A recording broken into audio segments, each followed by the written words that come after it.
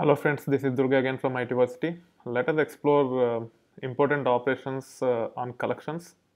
This is one of the most important uh, video of the course because uh, we, we have to work with collections a lot when it comes to uh, Spark and uh, having knowledge of collections will help building Spark related concepts quickly and also at times on top of Spark APIs we need to use Scala collection APIs also to uh, to implement complex functionalities.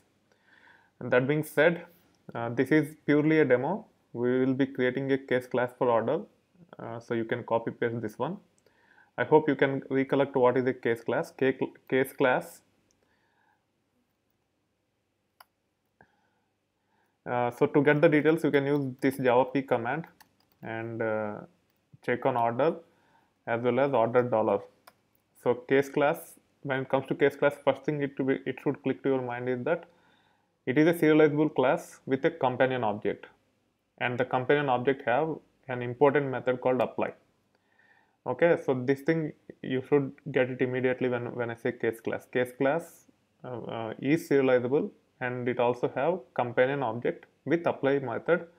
On top of that it implement product it will have getters for each of the uh, class variables. So whatever uh, uh, variables you pass for case class uh, by default they are immutable or of type val uh, uh, uh, class variables.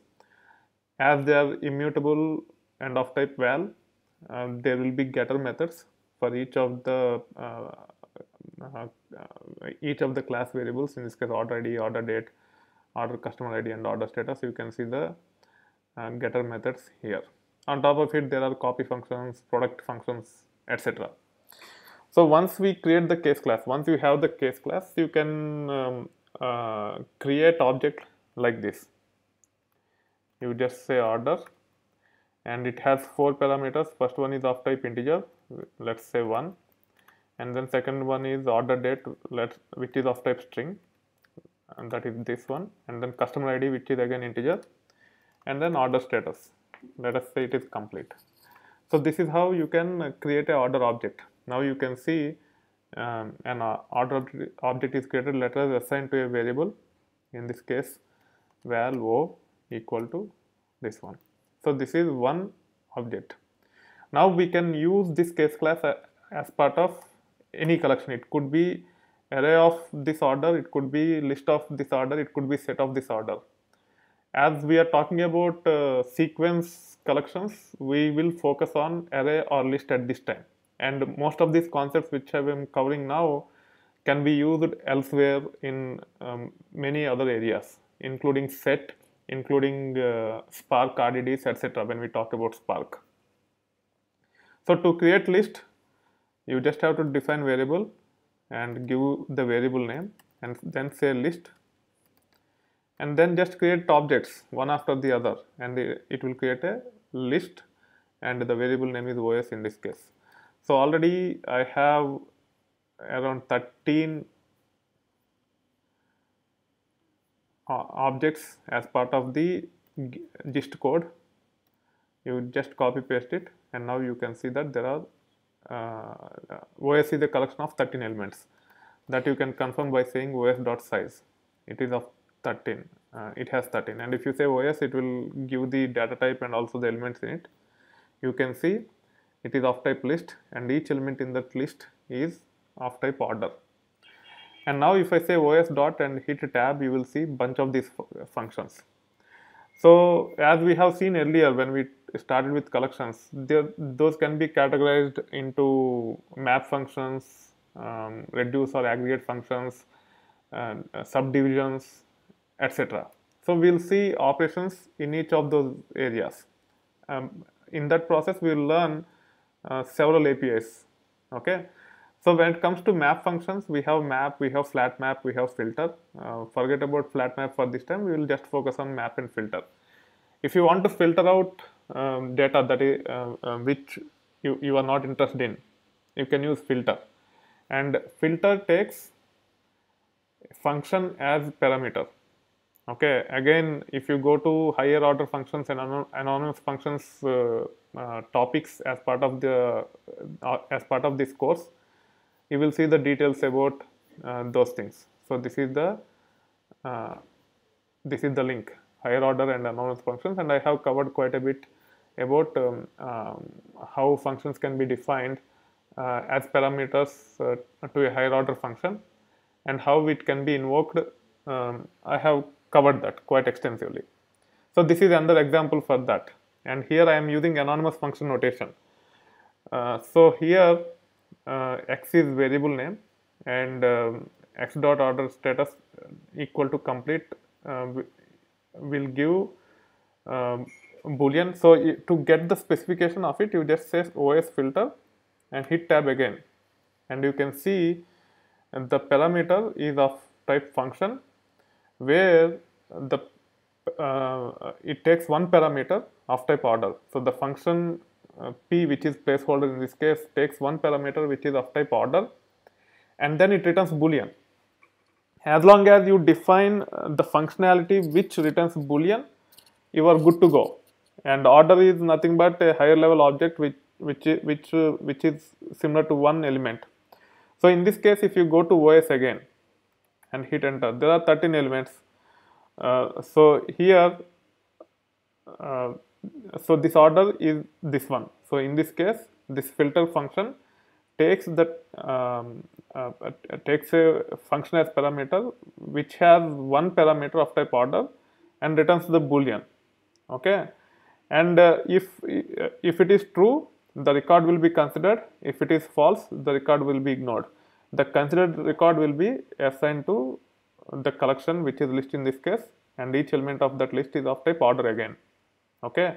So OS is of type list with each element as order and the output is also of type list with each element is order but the output will only have the collection uh, uh, where the condition returns true. In this case, if I want to uh, check for completed orders, the output will have only the completed orders.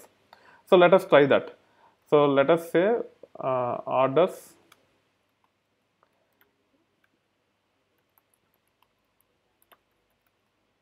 completed equal to os dot filter okay it takes the function. Here I am giving anonymous uh, functionality for that anonymous uh, functionality in the form of anonymous function.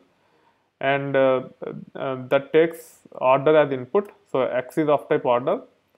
And here it has four attributes. One of them is order status and we are interested interested in that order status. And then double equal to complete okay. And then uh, tab and uh, uh, sorry and close the bracket and hit enter. Now you see you only get completed orders and you can say orders completed dot size which are which is 5 now. So 8 8 records are discarded. So this is how you can actually invoke filter function. So what is happening behind the scenes? So behind the scenes it is going through the collection the way you typically uh, um, you typically do. So in case of Java, let's say orders is of type collection. You will write for loop like this, right? For order orders and then you open the bracket. Uh, let me use this one for order orders and before that you will create a collection. Val uh, orders completed equal to uh, probably an empty collection uh, something like this. And then you will say if order dot order status dot equals complete. Then you will say orders completed of 0 or of 1 whatever it is you will be incrementing and will be assigning it. And finally orders completed will be a list which will have completed orders others will be discarded. So the same functionality we are writing something like this. Filter is the function which which will take each element uh, in a loop and uh, apply this expression which returns boolean if it returns true that will be collected in a new collection. Uh, otherwise it will be discarded. And finally orders completed with have will have that new collection which have only the completed orders. Now if you want to change uh, the behavior of one of the um, uh, class variables and create a new order. So here we are trying to transform the record into some other record in this case let's look at OS it has date in the form of yyyy hyphen mm hyphen dd. Let us say I just want to have the date. I don't want anything else, and that too date should have should be in yyyy mm dd, and the data type should be integer. Okay. So if you want to apply that functionality, you can say os dot map, and here again we can use the anonymous function um, uh, functionality. Again, if you want to see the um, uh, see the specification of the function map. This also takes um, anonymous function as parameter. Okay, and here it says um, order uh, is the type of the parameter which will be passed to that anonymous function, and the return type has to be b. What is this b? This b is nothing but whatever will be returned. Uh, it's just a placeholder. Okay? Uh, so now I am saying x is the parameter name. And then um, uh, imply. And I want to get order date which is of type string in which I want to replace hyphen with empty string okay and hit enter. Now you see each element uh, is in the form of mmdd and the data type is string but um, my requirement is to convert it into integer. This can be represented as integer also. So in that case i just have to say dot to int. These are typecast functions which you need to be aware of. For each of the value classes or primitive types you have two and the uh, class name like 2 int 2 fold 2 double etc which can be used to typecast and hit enter. Now you can see the list is of type integer um, and you can see the elements. On top of these things so we have seen filter we have seen map function. If you want to add if you want to minimum uh, if you want to get the minimum from the collection if you want to get the maximum value from the collection in that case you need to either use reduce or float okay. So for this purpose um, I am using the range which is nothing but a collection. Okay. And then filter to get all the even numbers and then using the reduce function. So let us see what this will return first.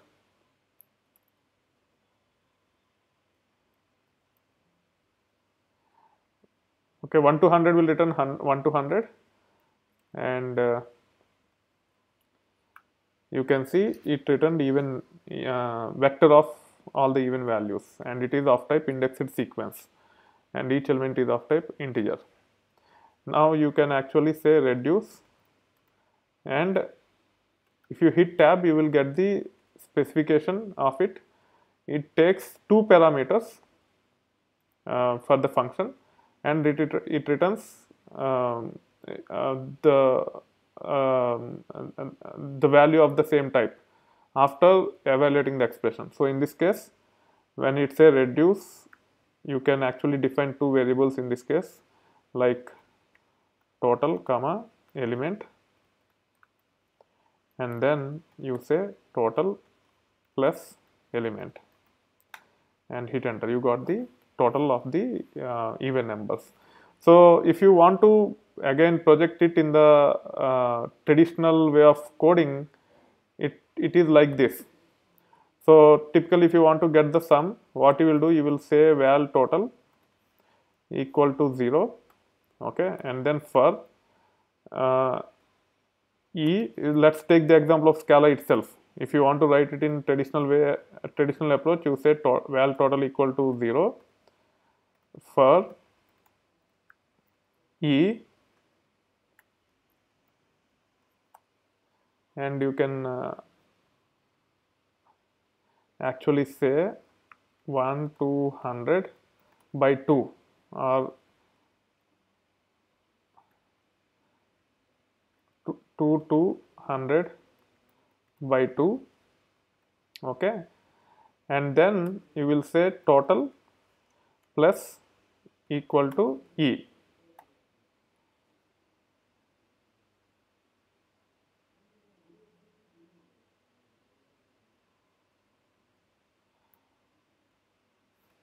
I think I have to say total equal to total plus e.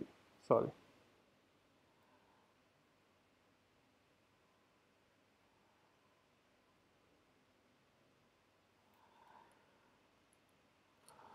Okay